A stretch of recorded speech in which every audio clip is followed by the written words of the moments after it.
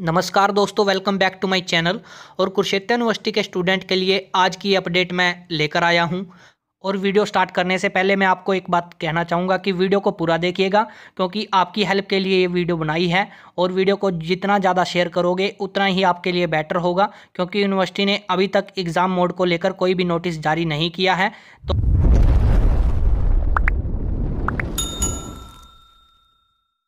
आप सभी को पता है कि यूनिवर्सिटी ने आपकी जो एग्ज़ाम की डेट शीट है, वो जारी कर दी है। सभी ने वो डेट शीट देख ली होगी, ठीक है? लेकिन जो यूनिवर्सिटी है, उन्होंने अभी तक आपका जो एग्ज़ाम का मोड होगा, किस प्रकार से आपके एग्ज़ाम कंडक्ट करवाए जाएँगे, क्या उसका शेड्यूल होगा अभी तक उसके बारे में कोई भी इन्फॉर्मेशन नहीं दी है कि हमारे जो एग्ज़ाम है यूजी और पीजी के, जो कॉलेज के स्टूडेंट हैं फ़र्स्ट सेमेस्टर के स्टूडेंट हैं थर्ड सेमेस्टर के स्टूडेंट हैं, पाँचवें सेमेस्टर के स्टूडेंट हैं, ये सभी जो स्टूडेंट हैं वो काफ़ी परेशान हैं। मेरे को हर एक वीडियो पर कमेंट मिलता है कि हमारे एग्ज़ाम का मोड क्या होगा। तो मैं उनको हर एक बार यही कहता हूँ कि अभी तक कोई शेड्यूल नहीं यूनिवर्सिटी ने जारी किया, ना ही कोई नोटिस जारी किया है। आप सभी को भी पता है, आप भी डेली चेक करते रहते हो यूनिवर्सिटी की ऑफिशियल साइट कि आपको कोई नोटिस मिल जाए।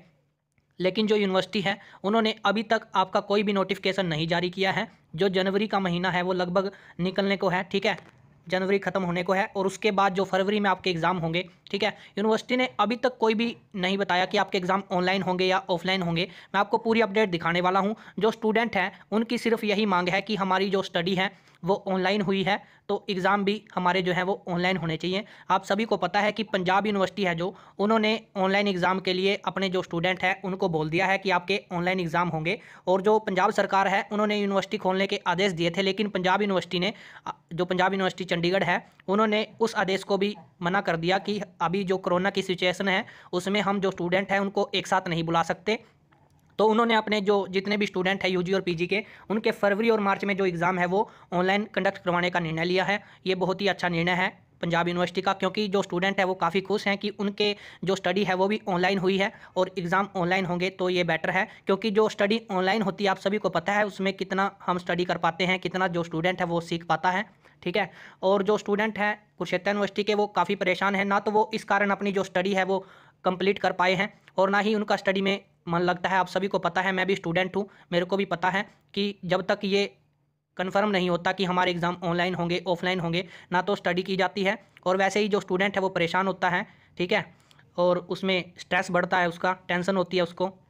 लेकिन जो यूनिवर्सिटी है, वो ज्यों की त्यों बनी हुई है। उन्होंने अभी तक कोई भी नोटिफिकेशन अभी तक नहीं जारी किया है। और जो ये वीडियो है, सिर्फ़ आपके लिए बनाई गई है, ताकि जो स्टूडेंट है कुरुक्षेत्र यूनिवर्सिटी के, उनकी हेल्प हो सके और ये आवाज़ जो है यूनिवर्सिटी तक पहुँच सके।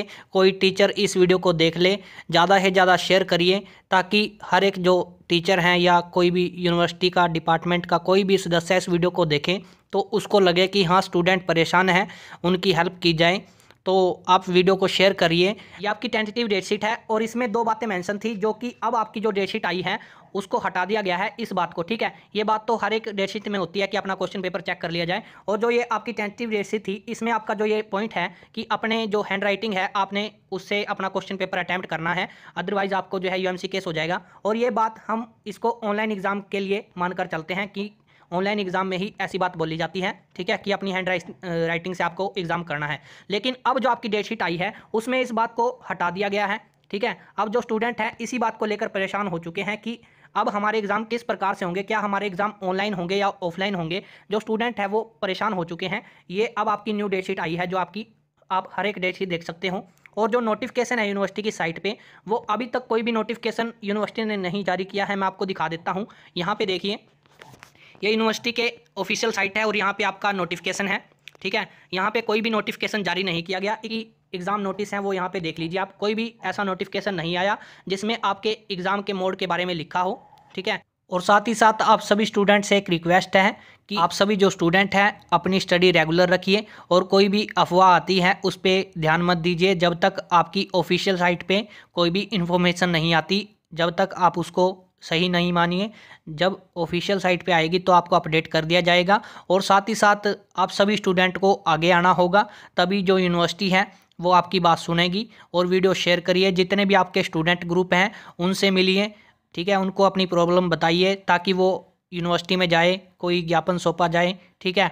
आपके लिए ये वीडियो बनाई है ताकि जो यूनिवर्सिटी प्रशासन है उस तक ये बात पहुँच सके और आपके एग्ज़ाम के मोड को लेकर कोई नोटिस जल्द से जल्द जारी किया जा सके। और जो हमारी मांग है कि हमारे जो एग्ज़ाम है, वो ऑनलाइन कंडक्ट करवाए जाएँ क्योंकि हमारी जो स्टडी है, वो भी ऑनलाइन हुई है और पंजाब यूनिवर्सिटी भी ऑनलाइन एग्ज़ाम करवा रही है।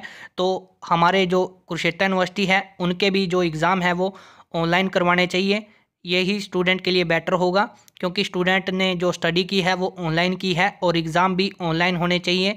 तो आप सभी को ये बात उठानी होगी सभी को आगे आना होगा ठीक है? तभी यूनिवर्सिटी आपकी बात सुनेगी। तो वीडियो को शेयर करिए ताकि हर एक स्टूडेंट तक ये इन्फॉर्मेशन पहुँच सके। और साथ ही हमारी एक ये मांग है कि यूनिवर्सिटी जल्द से जल्द कोई नोटिस जारी करे ताकि जो स्टूडेंट है वो टाइम से अपनी स्टडी कर पाए कि उनके एग्ज़ाम ऑनलाइन होंगे या ऑफलाइन होंगे ये स्पष्ट किया जाए।